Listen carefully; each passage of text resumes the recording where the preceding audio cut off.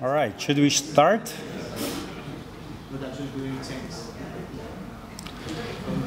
Welcome, everyone. So, my name is Ringo. Um, as my colleague Lee Briggs this morning, I work for Pulumi, but yes, I'll show a bit of Pulumi, but it's not going to be a pep talk about Pulumi.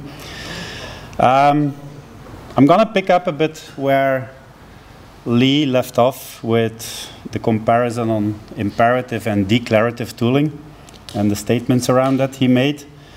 Um, because yes, you still see once in a while a debate on whether imperative or declarative um, is the way to go. So here is one tweet, here's another, uh, to go on the long running battle. And yeah, then some people even yeah, think or say, I prefer declarative or I don't like that imperative thing. And that's not going to be for me make up hey help you make a decision i'm just going to try and, and show you that um, to end the, the debate actually is just the debate in your own mind huh? and show you that both aspects um, help you to hey, have their value and not so long ago in this same room there was a very smart guy who said or tweeted the following A hot take things can be both declarative and imperative. Trying to turn these properties into marketing wedges makes you ignorant, not smart. Thanks, Adam. Now, coming back to these definitions and also what Lee showed this morning, so with an imperative tool, typically it's you orchestrate the steps um, but yeah, to find out what was already there is mainly up to you. With the declarative tool, yeah, you defi do your uh, define your end state, and the tool will make sure that it tries to comply with that. Yeah? Um, now, a tool can be, as Adam mentioned, imperative and declarative at the same time. But what is the overall behavior that your tool manifests? Yeah? Is it really fully imperative? Or do you have somewhere an, an imperative interface, but in the end, a, a fully declarative behavior? Yeah? And this is mainly what um, I look at when evaluating tools and see what I can get out of it. Yeah? Um, when I did uh, software engineering, because I'm coming from a software, engineering background, the only way how I improved my knowledge of databases, for example, is when I started to run the explain functionality or the SQL analyzer on my statements. Because only then, at, at that moment, I understood more of the inner logic of a database server and how it worked. And this helped me considerably writing faster programs. So, with both of these pieces, look at what you can do with the tool in the end. So coming back to the imperative part is you have a number of subsequent runs of your infrastructure code. And yes, on a first run, typically both an imperative and a declarative tool will create all of your resources. But what happens on subsequent runs? With an imperative tool, because you orchestrated the steps and the actions to do, well, your tool will create them again. Yeah? And if there is any conditional on your provider itself, which prevents you creating the same resource twice, well, that will fail, and then it's up to you to do the error handling, etc., etc. So with a declarative tool which knows what it already uh, done before, well, it takes it into account and says, yeah, but this and this and this already have, done. Yeah, and we're over. Um, with this, this, definitions and mindset uh, in mind, actually, let's see Chef as an example where you already mix imperative and declarative constructs. Then, so this was actually a tool I landed upon uh, when, let's say, the, the, war was raging between Chef versus Puppet. Um, then two of the tools we use today, Helm and of course Pulumi, my employer. And then a new kid on the block from Solomon Hykes, his new company and his new product is Dagger, which is actually conceptually, and I'll come to that, also a combination of imperative and declarative, but to orchestrate your CI/CD pipelines. So first off, Chef. Yeah, I just mentioned I'm coming from an, a software engineering background. So for me, it's actually, yeah, I'd rather use a programming language. So the team uh, for Chef started with Ruby as the base programming language and added a domain-specific language on top of that. Yeah? On top meaning they leveraged Ruby constructs to make it as simple as possible to have a, a very shorthand notation to uh, make sure to define your resources, um, but leveraging what the power of the Ruby programming language already has. In uh, a chef setup, you had some concepts, and I'm not going to dive too deep into that, but everybody knows about the resources you want to ma uh, manage. Well, one resource is the minimal thing you could uh, orchestrate with Chef. Then you put resources together um, in a recipe and a recipe together in a multiple recipes together in a cookbook. So if you take the example of an Apache server that you have to manage, well, the installation of the Apache package on your OS was the minimal resource. Together with the package, probably you need some additional config files. So that could be together in an install recipe. And then you had, next to the install recipe, more configuration recipes, also an, a delete recipe, etc., together making up the Apache cookbook. If you have a small example here, so coming back to that, the first line of this was already doing something. So in this, you got a package resource, and you gave it the name install Apache. And then you provided an additional block starting at the uh, do on the first line until the end on how you configured that package object, yeah, that package resource. And in between, you already see that there's a regular case statement coming from the Ruby functionality. So based on what the platform attribute of our node was, yeah, if it was Red Hat CentOS or another derivative, yeah, the package name um, needed to be HTTPD. If it was an Ubuntu or Debian derivative, yeah, the package name was Apache 2. So here you already mix up DSL that Chef made with pure Ruby constructs. So this is a simple example, um, but when you execute it, it's still declarative. As long as your node doesn't change and you're running that on the same node, the first execution will install that package, but any subsequent runs will already find that the package is installed, and then it will skip this resource declaration. Yeah. The power comes actually when, yeah, you go further. What if we need to install more than one package?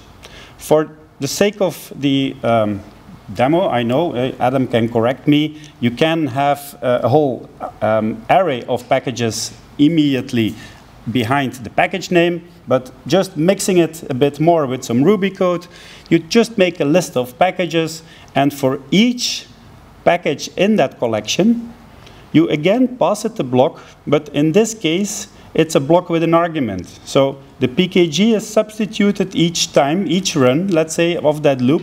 The first time with Apache 2, second time with Rails, and then the package block will be evaluated, and the first block, uh, the first evaluation will install the Apache 2 package, the second evaluation uh, of that each argument um, will install the Rails package.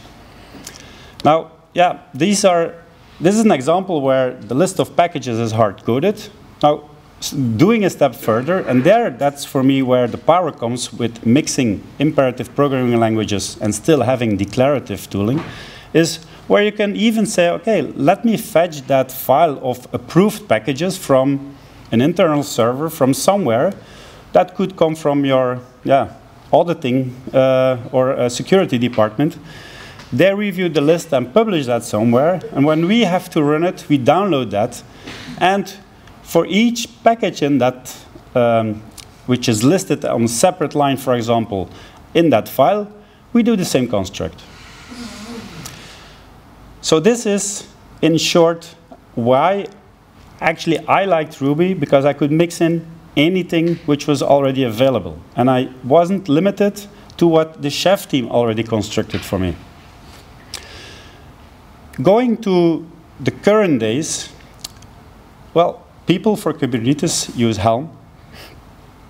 Um, so if you ever touched on Kubernetes, yeah, Helm, Helm charts and yeah, probably after step two, eh, after you fiddled first with applying a kubectl apply and you did some initial testing with um, pure handwritten uh, YAML files.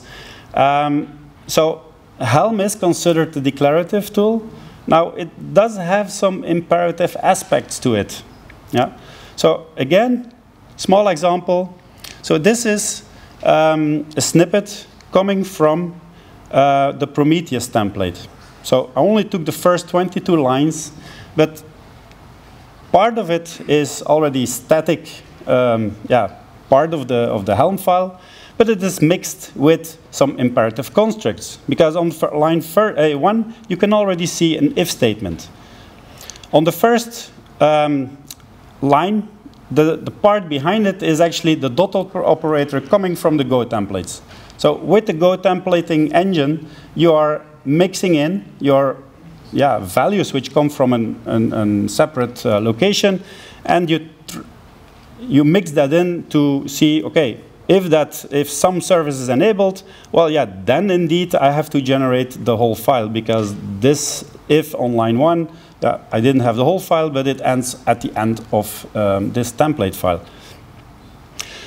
Next to that in the file, you see on line 7, for example, you see a to YAML, and also at the end of the line an indent. So here you have an additional two functions, um, and looping further, uh, it's in total, even on 22 lines of uh, YAML templating, you see an invocation of six um, imperative constructs. The if, to YAML, an include, the indent. Then on line 10 you have an n indent. And on line 14 you see uh, a templating of even another property, which is uh, yeah, even going further. Together with the dot operator, that mixes in quite some uh, logic. But on the other hand, it's only limited to what the Helm authors actually um, allowed you to. So they started with the Go templating uh, library, and they added the Sprig template library to it, which gives you sort of uh, around 60 possible functions that you can invoke, but it, there it ends. And here are a few of the categories of functionality where these 60 functions uh, are, um, can be categorized in. So this is not extensible without contributing to the project in a whole, and with, even without having your changes accepted to uh, uh, the project that's for me quite limited. And on top of that, yeah, this is yeah glorified manual code generation or YAML generation. It doesn't really, uh, the fact that I even have to do the indenting and, and selecting the indenting myself, it's awful. um, so the, the previous two, so Chef and Helm, what is common to these tools is that these are all, uh, the tool itself all runs in the same um, language runtime. So Helm is a compiled binary. It was uh, written in Go. Uh, so this is a static binary. All of Chef runs in a Ruby environment. Um, so this is uh, the setup, single process, and uh, done. So coming to Pulumi, there's a bit of a different angle here. Because yeah, people know Terraform, and you have Terraform binary, you, uh, you have the providers. That's already two processes. But the language handling of the Terraform DSL also happens in the same Terraform CLI in that uh, binary. Pulumi extracted actually the language processing also as a separate process, and now we have a setup with three processes communicating with each other. So all of these three types of processes run on your machine when you're running Pulumi. Yeah? Now, if you run a Pulumi program, you have your language host, which you selected, so either a JS ecosystem, even Go, .NET, um, uh, the Java ecosystem uh, as well. So this is actually coming back to the directed acyclic grafting, where your language host actually orchestrates how your graph of resources need to become. So the language host in the end doesn't really provision anything. It's still our engine who does it. And that's what in the beginning confuses a lot of people because they think, oh, I'm writing my infrastructure code in, in an uh, imperative language uh, everything will be running exactly and in the same order as uh, I wrote in the code. Well, too bad, no. And that's why I'm gonna show you in a small case actually how and where still the power of our engine comes from and where you have a lot of flexibility to do that orchestration and creation of your resource graph. So this is a small example, very straightforward if you worked with AWS before. So we create a VPC. We create an internet gateway, route table, which is linked to both of them, uh, to both the internet gateway and the VPC. And then separate from it, but also linked to the VPC, is a security group. So first part is if we create the VPC, well, that does actually a register resource request over that gRPC channel to our engine. So in the very first phase, when your application is running, this is just sending instructions to our engine on how you want your resource graph to look. if we create a second resource, and there you see on line 8, um, there you see that I'm referring to the ID of the VPC, which was created just before that. Now, as I mentioned, the VPC at that moment hasn't been created yet. So that ID thing, what am I passing? So it's not the actual value of the uh, ID. No, you can really look at it as a bucket where our engine will later on put the actual value in. But by passing that bucket from one resource to the other, here you create a link and a vertex in the end in your directed acyclic graph. Because here you see that then my internet gateway depends on my VPC. And that's a good indication for our engine later on to order the creation uh, of uh, the resources. So next up is in the, in the end the route table.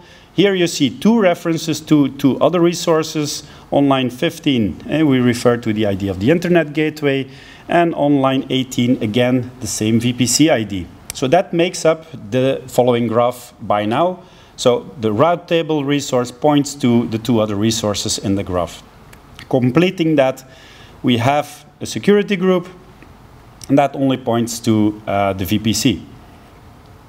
So now our program has ended executing, but that doesn't mean that Pulumi has done working. So now actually comes the, the part where our engine will start using this resource graph and then compare it to the state similar to how Terraform does it and uses the providers to do all the proper um, uh, creation calls. Yeah?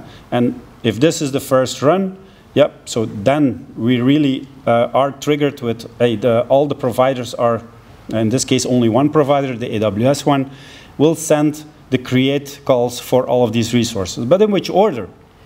Not in the sequence as um, the program made, but um, yeah, if you, based on graph theory, First of all, what needs to be, which actions need to be done? What are the dependencies? And then we, uh, our engine tries to group these. So the VPC is definitely the first one. Then you have two resources only depending on the VPC. So that's the security group and the internet gateway. And as a last resource, actually, we end up with a route table only after the VPC and the internet uh, group, uh, internet gateway rather, has been fully provisioned. So the order is actually out of order as what you expect from um, the, uh, the sequence in your application. Given that, yeah, the more complex your um, resource graph becomes, the more opportunity we have to run the creation of uh, resources concurrently and to limit the time it takes for your infrastructure to come up. Um, so looking at again the imperative and declarative thing, actually Pulumi an, has an imperative language setup which drives a declarative engine, which in the end uses again imperative calls to fulfill the desired state because our Pulumi providers, similar to the Terraform ones, have a CRUD protocol, create, retrieve, update, delete. So this is really an imperative way. But by, driven by the engine, yeah, it makes sure that it's the engine in the end which is key to the whole Pulumi setup, making it declarative as the outcome of its total behavior. Um, in short, this is what uh, the Pulumi setup. Coming to the next um, one, the new kid on the block is Dagger. So the problem with, and I've encountered that multiple times, is I hate debugging CI pipelines. Because I always have to do a commit, I have to push it, I have to try it out, rinse and repeat. This is actually one of the premises that Solomon Hykes, the founder of Docker and now Dagger, yeah, which he thinks is, yeah, why can't we have a setup where even with containers, we can test our pipelines and uh, do it locally yeah, before we push it off to the hosted service and where the pipelines can then run happily after they're locally debugged. So the high-level setup and the high-level architecture of Dagger is actually quite similar to the Pulumi one, although its purpose is totally different. So with the Dagger SDK, you also write your pipelines in code. If that application runs, it sends instructions to the Dagger engine, which also creates a directed acyclic graph of all the different build actions which depend on the outcome of previous steps. And that's what you model in the end also with the Dagger SDK towards the Dagger engine. Once Dagger is um, a let's say, uh, fed with all the model that you wanted to um, have your pipelines to be, well, then it's Dagger engine, which uses an OCI container runtime and starts off really executing these.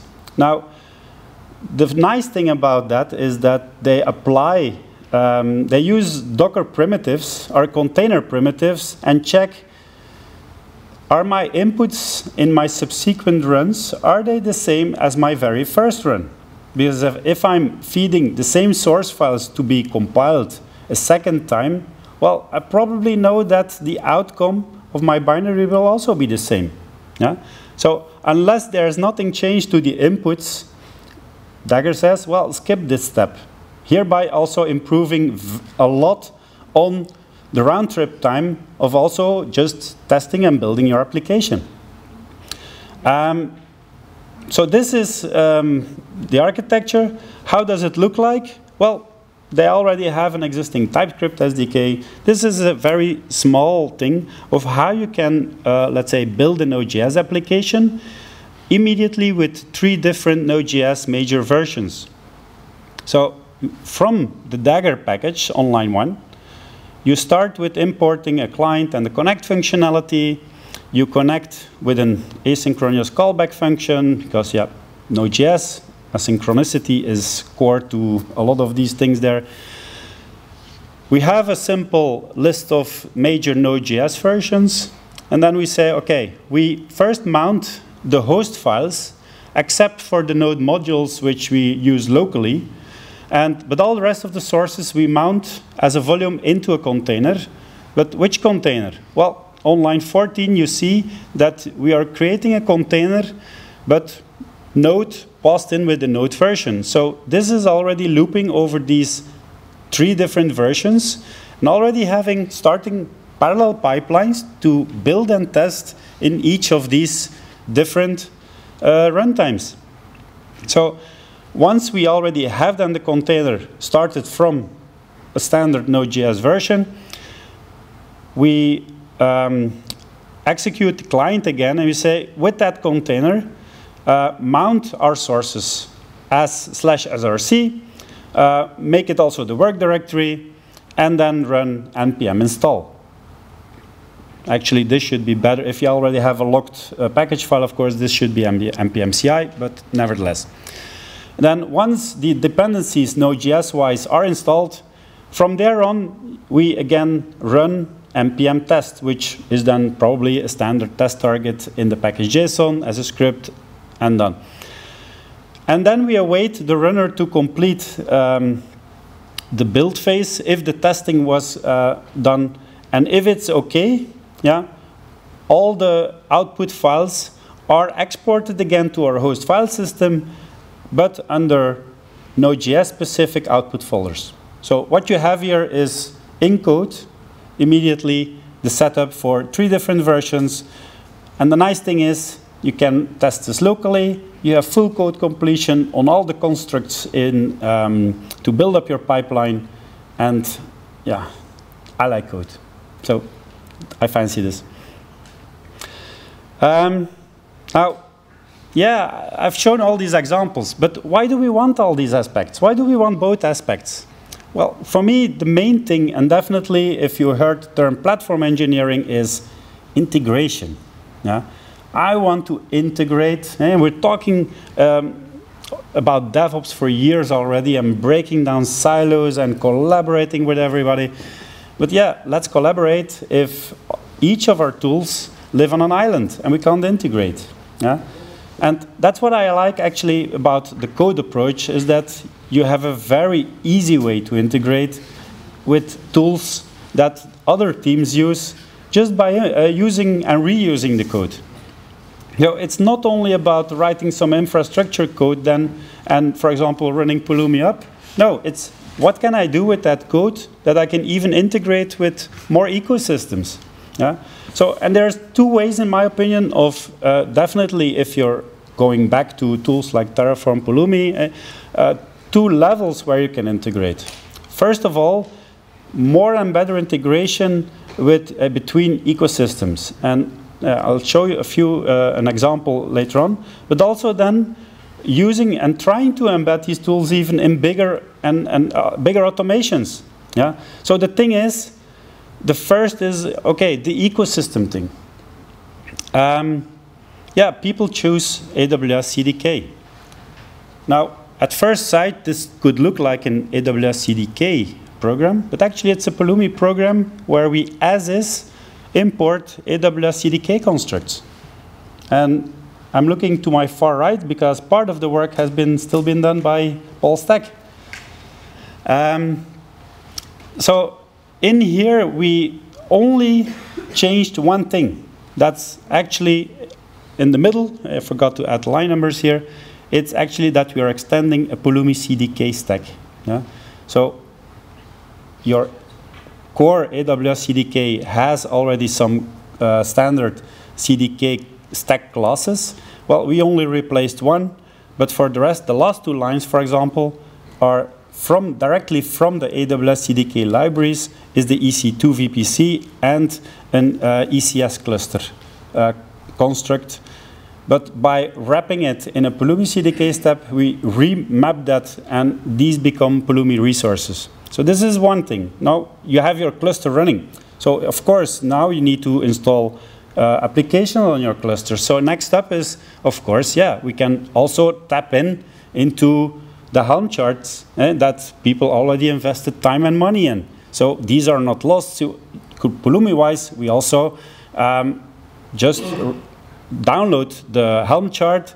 We, you process it, you pass the values that you want to be passed on to the Helm chart, and we deploy it as Pulumi resources.